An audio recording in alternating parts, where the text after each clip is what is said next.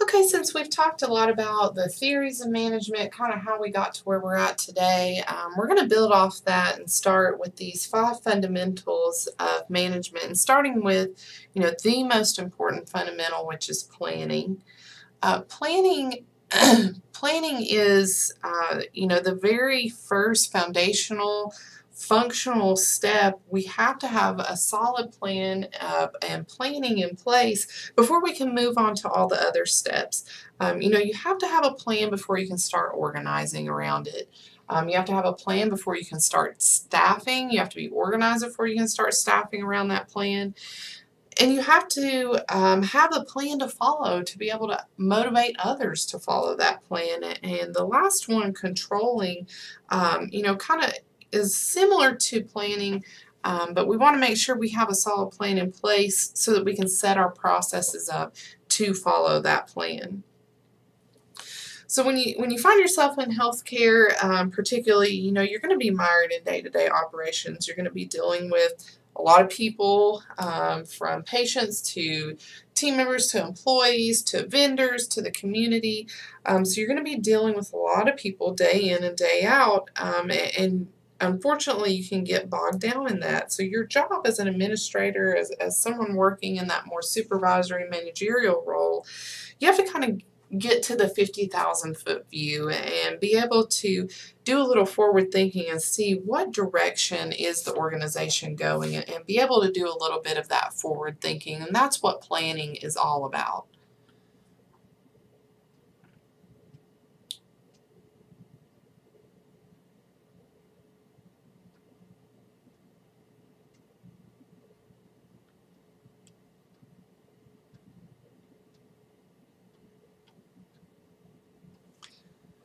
So everyone, regardless of what level you're at within an organization, is going to end up planning. Everyone has to plan no matter what level you're at.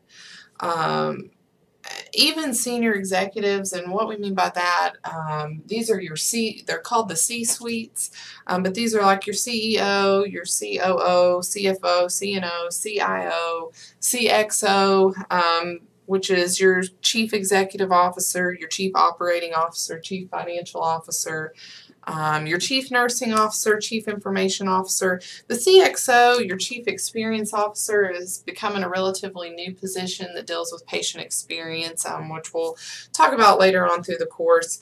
Um, but these are a couple positions at that level of management with senior executives. So planning is going to be, uh, you know, important and very integral part of your day-to-day -day life um, in this more senior managerial role. You know, but why is it so important for you as a manager, you as a supervisor to go and seek this advice out? And it all really goes back to the interdependency between the departments and those relationships that exist there. Um, so you want to set yourself up for a good plan. You want to pull as many people in to get different perspectives on how changes or how forecasting is going to affect different aspects of your facility.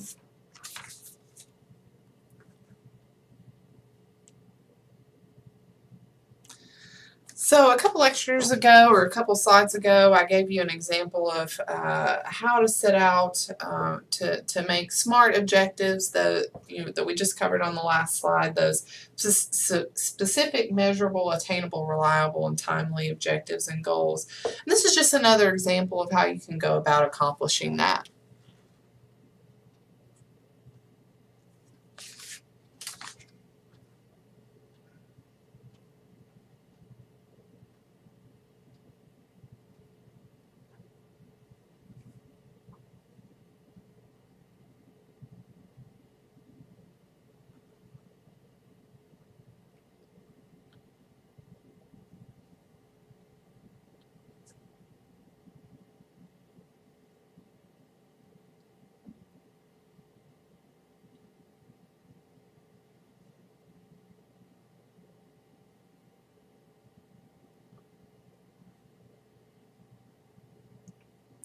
So the strategic plan and the strategic planning process, um, if you end up taking, uh, we have a course all around strategic planning, which we get to a lot more detail regarding the strategic planning process.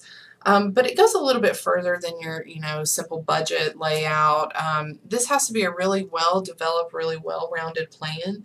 Um, and it goes a lot more depth and covers a longer time frame um, than other kind of simpler plans or budgetary plans. And, you know, it needs to be overall very dynamic for this changing healthcare environment. You know, like we've said multiple times, and I'm sure we'll say multiple times throughout the rest of the semester, healthcare is rapidly changing um, very dynamic, and we need to make sure our plans are set up in a way that adjusts easily to that ebb and flow and the changes that we see in healthcare overall.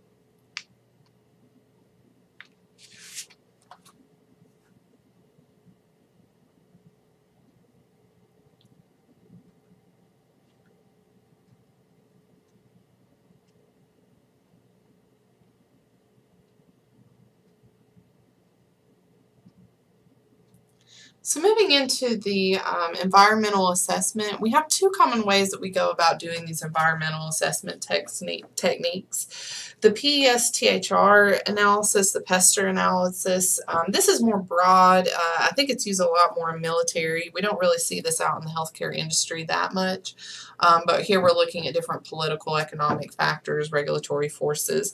What we do see here uh, in the healthcare field a lot is a SWOT analysis. So this environmental assessment, this SWOT analysis, is going to be that critical component of your data-supported strategic planning. And, everything we do, everything we present needs to be able to be backed up by data. You need to be able to point to the data and, and have some evidence, some um, supporting evidence to show why you're considering the things that you are.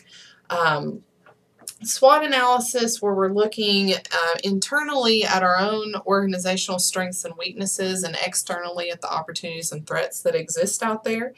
Um, this is great for a local market analysis. Um, and again, you know, we're out gathering data.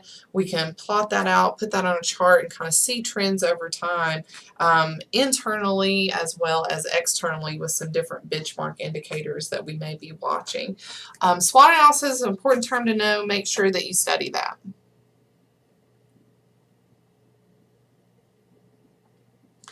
So here we have a, an example. Um, I just wanted to show you, go over this, but uh, this is how you can start to conduct a SWOT analysis, uh, particularly around a market analysis uh, on the external side.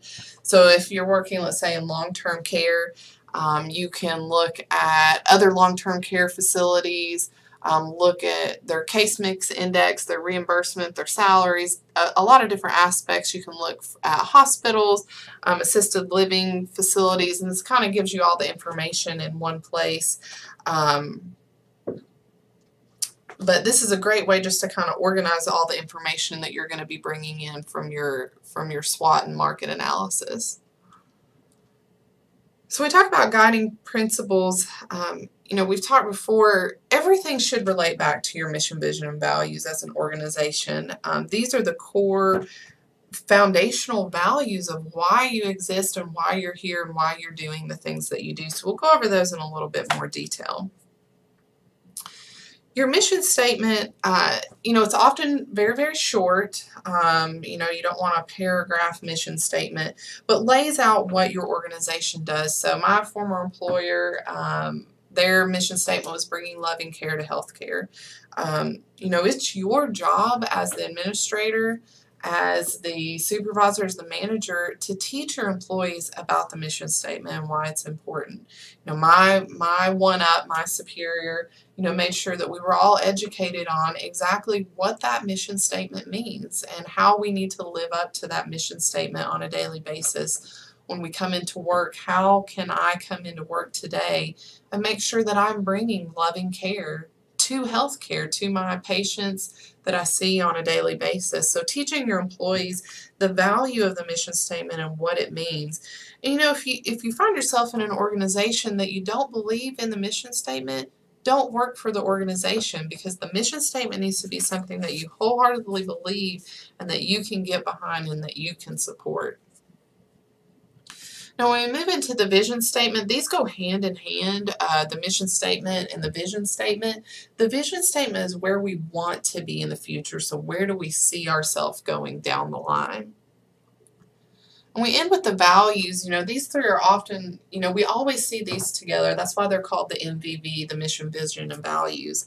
Um, our employees of an organization, you know, yourself included uh, in that supervisory role, should come in and live, you know, strive to live by these values every day that you're at work. These are the foundational core of what your organization is trying to live up to. So, you know, make sure to look for examples to live by the values out in your organization. Where do you see an employee, you know, really representing the values of their organization and how can you recognize them for that um, and just make sure that you're communicating out to your staff the importance of these values and, you know, making sure that you are sticking to them.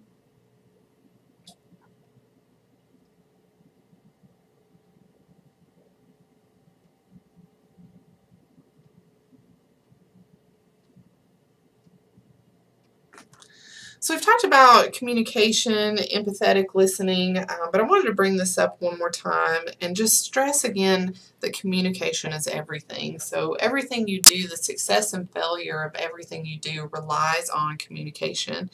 Um, you know, you'll often find, especially when you do the strategic planning piece, change is hard and you'll get some pushback. Um, whether you're doing strategic planning or you're making a small process change, change is very, very hard and people are resistant, resistant to change. But if you can have your communication mechanism, you know, solidified and you can get the information out there, change is easier when people understand why. And if you don't have this communication method, you know, solid before you start going out to make some changes or start going out to do this strategic planning, you're going to experience a lot of problems on the back end.